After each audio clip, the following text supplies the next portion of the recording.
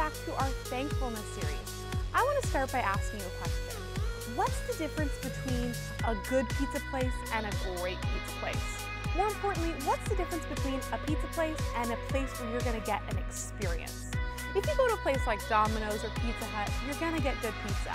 You've got the good cheese, the good sauce, all your favorite toppings, all on a good crust, but that's it. You're just gonna get good pizza. When you go to a place like Chuck E. Cheese, you get more than just the pizza with the toppings that you want. My personal favorite is Canadian bacon, pineapple, and black olive. Mmm, so yummy.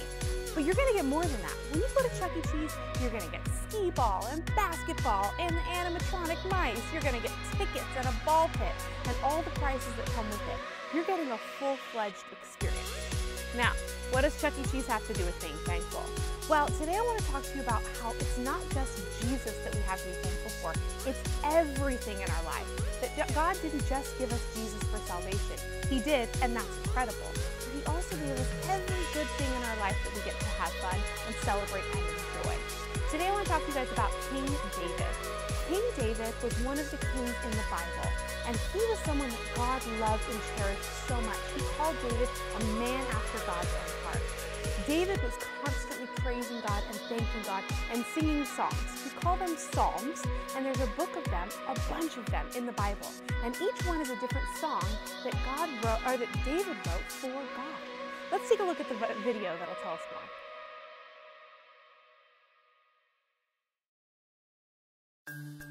Stories of the Bible David's Prayers. This is David. Hello. David was the second king of Israel. Yeah. He was a great warrior. Oh! He loved God with all of his heart, and he prayed to God often. Hmm. David loved God so much that he wanted to give him a special house to live in. Yeah, that's it. But God told David that it wasn't his plan for David to build this house. Even so, David thanked God for all he had done for him. He praised God for the great God that he is. Hmm. David wrote many psalms, which are prayers and songs to God that are in the Bible. In many of his psalms, David began by thanking and praising God. He thanked God for answering his prayers and giving him victory over his enemies. He thanked God for guiding him and showing him the right path to take. David thanked God for always being with him. Even when David was an old man, he thanked God in front of all the people of Israel for all that he had done. He said to the people, Give praise to the Lord your God. David talked to God his whole life, and this is one reason why God said, I have found a man after my own heart. He will do everything I want him to.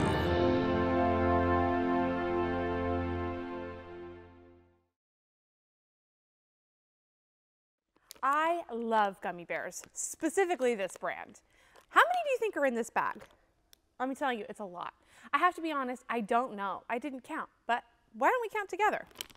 See if we can figure out how many are in here. One, two, three, four, five, six, seven, eight, nine. Uh-oh. I lost count already. Uh-oh. How many do you think? Oh, man. I was too busy enjoying them, I didn't even get the opportunity to count them, and I lost track. If we started counting our blessings, we would find the same thing. God's given us so many things for us to enjoy. King David was a king, he was a general, he led men. He and I are not going to have the same experience in life. I'm never going to be in charge of an army, but King David always knew that God would protect him no matter what. He knew that whether he was going to battle or everything in his day to day life, God would be there with him and God would protect him. And that's why he always was praising God for everything he gave him. He counted his blessings and he never took any of them for granted. And I think that if you and I were to start thinking about everything that God has given us Even though our lives look different from David, we've been given so many blessings. Your parents, your grandparents, your friends, the world we live in, the animals we get to look at, the plants we get to enjoy, the good, delicious food, the delicious gummy bears. When we think about every single blessing, I bet you you would lose count. Just like I was too busy eating these gummy bears and enjoying them to actually count them. When we think about all the blessings God's given us, we'll lose count of how many there are because all of a sudden we'll be like, oh my gosh, God has given me so much to enjoy. And we'll lose track of counting the number of blessings because we'll be so busy enjoying them that we will just get lost in the beauty of the life that God has given us. So, just like I plan on demolishing this entire bag of gummy bears, I'm not going to know how many are in there because they're to be all in my tummy. And I think today I want to challenge you to count how many blessings God's given you everything small things, big things, medium sized things. And the more you count, the more you're going to realize there's no way to count them all. God has been so faithful that we can't count them all. King David tells us best in this memory verse Give thanks to the Lord and proclaim his greatness. Let the whole world know what he has done. David exemplified this best because he was always praising God. And I want that to be our constant life, that we're thanking God for every single blessing He's given us. And we get so caught up in thanking Him for the blessings and thinking about the blessings that we forget just how many there are because there are too many to count and that we can just enjoy them. Let's pray together. Dear God, thank you so much for every blessing you've given us, from the small to the big, from the things we think about to the things we don't think about every day. I pray that you would help us remember every blessing, everything you've given us to enjoy in this world and in our lives, and that we would thank you constantly for them. We praise you and we thank you. In Jesus' name, amen. Let's do some worship together. Surf's up, dude. Your love pours down, splashes all around. It's as big as the biggest waterfall. Your love soaks me so completely till I'm drenched in the sweetest rainfall.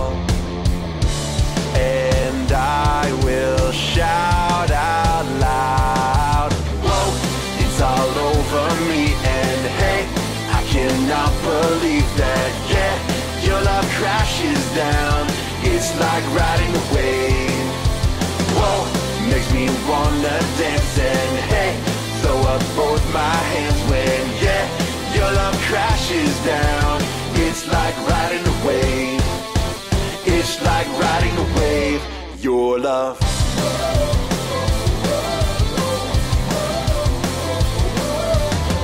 Your love pours down, splashes all around. It's as big as the biggest waterfall.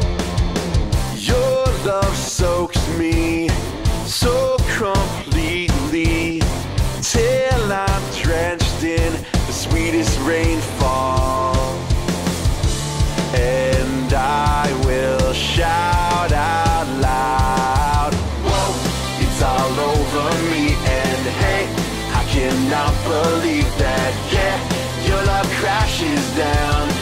It's like riding a wave. Whoa, makes me wanna dance. And hey, throw up both my hands when, yeah, your love crashes down. It's like riding a wave. It's like riding a wave, your love.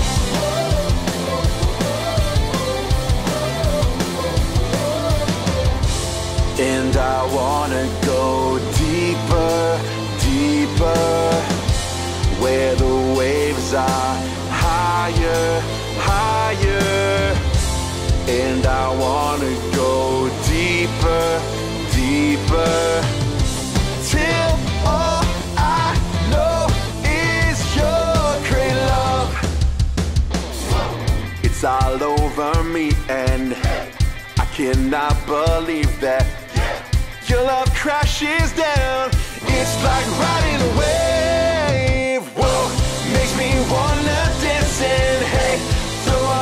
my hands when yeah, your love crashes down. It's like riding a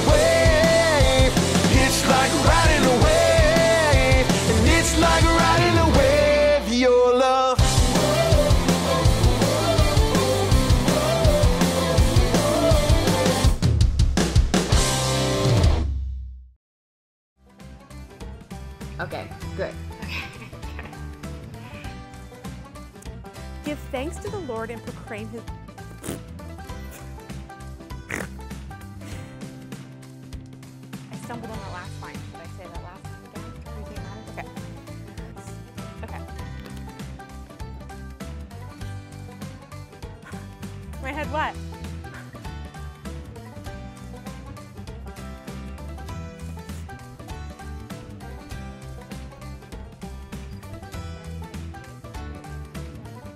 Oh, sorry.